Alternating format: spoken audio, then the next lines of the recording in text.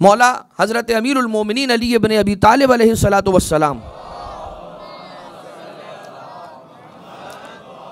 मौला इरशाद फरमाते हैं कि कुरान एक ऐसा नसीहत करने वाला है कुरान एक ऐसा नसीहत करने वाला है कि जो धोखा नहीं देता यहाँ पे हम और आप देखते हैं कि उस दुनिया के अंदर नसीहत देने वाले और काउंसलिंग करने वाले और मशवरा देने वाले अपने अपने रेस्टेड इंटरेस्ट को मद्देनजर रखते हैं और उन रेस्टेड इंटरेस्ट को मद्देनजर रखकर फिर कोई मशवरा देते हैं। मशवरा देने वाला कोशिश पूरी पूरी ये करता है कि अपनी मर्ज़ी से आपका इंक्लिनेशन और आपका झुकाव उस तरफ़ कर दे कि जिस तरफ़ वो चाह रहा है कि आपका झुकाव हो जाए।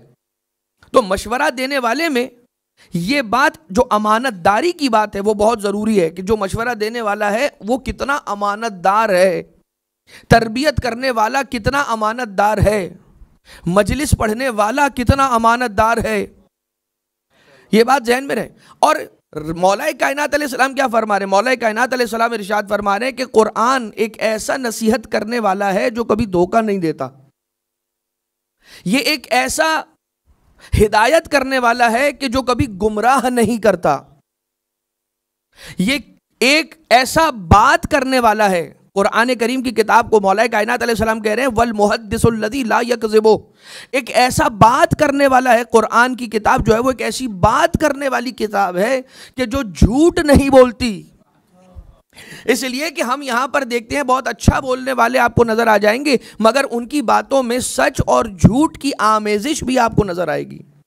सच और झूठ के इम्तजाज से मिला, मिलाया कलाम आपको नज़र आएगा। कलाम और तकल्लुम करने वाले तो बहुत सारे मिलेंगे, लेकिन ज़रूरी नहीं है कि हर बोलने वाला इस दुनिया के अंदर जो बोल रहा हो, वो सच ही बोल रहा हो। लिहाजा मौलाए कायनात फरमा रहे हैं कि अगर तुम्हें किसी ऐसे मशवरा देने वाले की तलाश है कि जो तुम्हें धोखा ना दे तो कुरान की तरफ़ आओ। अगर तुम्हें किसी ऐसे हिदायत करने वाले की तलाश है कि जो तुम्हें गुमराह न करे, गलत रास्ते पर न ले जाए तो कुरान की तरफ़ आओ। अगर तुम्हें कोई ऐसा बात करने वाला चाहिए कि तुम अकेले हो और तन्हाई में हो और चाहते हो कि अपनी तन्हाई को किसी से बात करके दूर करो तो कोई ऐसा गुफ्तगु करने वाला चाहिए कि जो तुमसे झूठ न कहे तो कुरान को खोल कर सामने बैठ जाया करो। जो कुरान कहता रहे, वो सुनते रहो और समझो कि कुरान करीम तुमसे बात कर रहा है। यही तो मौला अमीर सलाम ने फरमाया कि जब मैं चाहता हूँ कि रब से हम कलाम हो जाऊँ तो मुसल्ला इबादत पर आ जाता हूँ। जब चाहता हूँ कि वो मुझसे बात करने लगे तो कुरान करीम की तिलावत करने लगता हूँ। लिहाजा, कुरान एक ऐसा बात करने वाला, ऐसा गुफ्तगु करने वाला, एक ऐसा मुहदस हदीस करने वाला, हदीस यानी कि कलाम, गुफ्तगु, बात, कि जो झूठ नहीं बोलता। और फिर उसके बाद मौला ने फरमाया कि जहाँ कुरान होगा वहाँ कहीं पर फ़क्र नहीं आएगा। जहाँ कुरान होगा, वहाँ पर कभी तंगदस्ती नहीं आएगी। जो कोई कुरान के साथ बैठ जाएगा तो वो दो चीज़ें लेकर खड़ा होगा। एक ज्यादती और एक नुकसान। अच्छा आप कहेंगे कि ज्यादती तो समझ में आ गई, नुकसान क्या? नुकसान यानी कि कमी। एक है किसी चीज़ का इजाफा लेकर खड़ा होगा। और दूसरी एक चीज़ की कमी लेकर कुरान के साथ बैठ जाने वाला, कुरान की हम नशीनी को इख्तियार करने वाला दो चीज़ें लेकर उठेगा। एक ज़्यादती लेकर उठेगा, एक कमी लेकर उठेगा। ज़्यादती किस चीज़ की? नूर की, रोशनी की, ईमान की, हिदायत की। वो ज़्यादती लेकर उठेगा और कमी किस चीज़ की? अंधेपन की कमी लेकर उठेगा।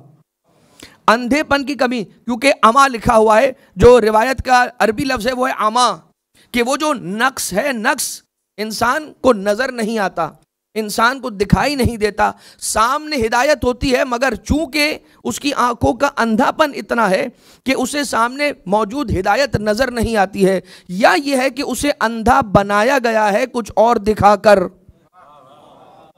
या उसे अंधा बनाया गया है कुछ और दिखाकर, वो क्या करे? वो कुरान करीम की तिलावत किया करे।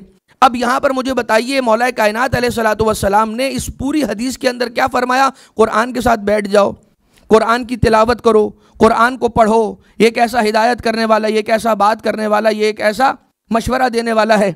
ये कैसी काउंसलिंग करने वाला है? यहाँ पर मौलाए कायनात सलाम ने कहीं पर यह कहा कि अगर तुमने कुरान करीम का तर्जुमा न पढ़ा तो कुरान की तिलावत का कोई फ़ायदा ही नहीं है।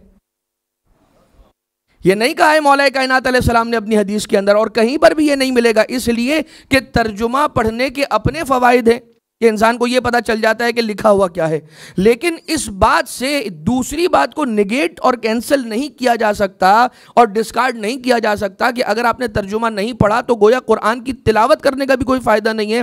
भाई, ये तो अल्लाह का कलाम है। छठे इमाम सादिक आल मोहम्मद, इमाम जाफ़र सादिक सलाम मौला ने फरमाया कि ताल्लमू अल्लुगत अरबिया अन्नहा लिसान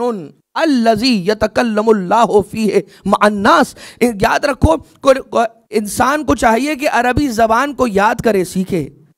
छठे इमाम सलाम फरमा रहे कि तुम अरबी ज़बान को याद करो, अरबी सीखो। इसलिए कि यही वो ज़बान है कि जिस ज़बान में परवरदिगार अपने बंदों से कलाम करता है।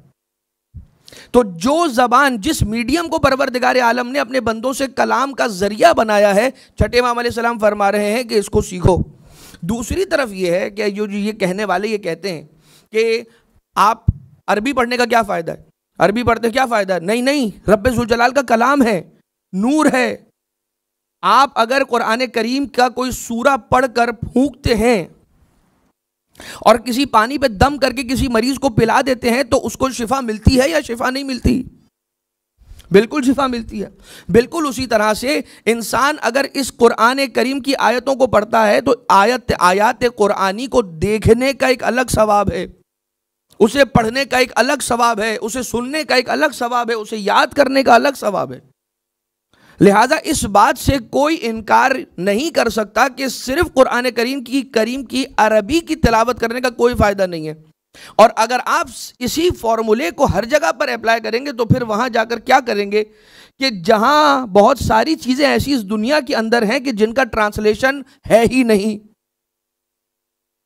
मुझे ये बताइए, जब आप किसी वाटरफॉल के दहाने पर जाकर, किनारे पर जाकर बैठते हैं और पानी का छम छम करके गिरने की आवाज़ पत्थरों से टकराते हुए जो आती है क्या उसका कोई ट्रांसलेशन मौजूद है इस दुनिया में? जो चिड़ियों की चहचहाहट है, उनकी आवाज़ का ट्रांसलेशन कोई मौजूद है?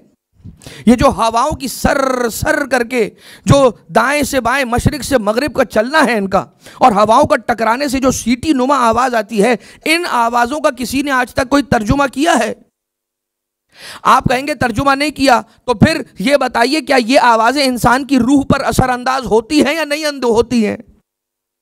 इंसान सी शोर पर जाकर बैठता है और वहाँ पर सी शोर से टकराने वाली जो लहरें हैं और वेव्स हैं, उसकी आवाज़ से डॉक्टर्स ने और कुछ तबीबों ने यह कहा है कि इंसान के डिप्रेशन और ब्लड प्रेशर के अंदर बेहतरी आती है। तो ये कैसे हो गया कि जो रब जुलजलाल की बनाई हुई मखलूक़ात हैं, उनकी आवाज़ तो इंसान की रूह पर असर करे और परवर दिगार आलम की आवाज़ का इंसान की रूह पर असर ना हो। लिहाजा कुरान करीम रब जुलजलाल की आवाज़ है।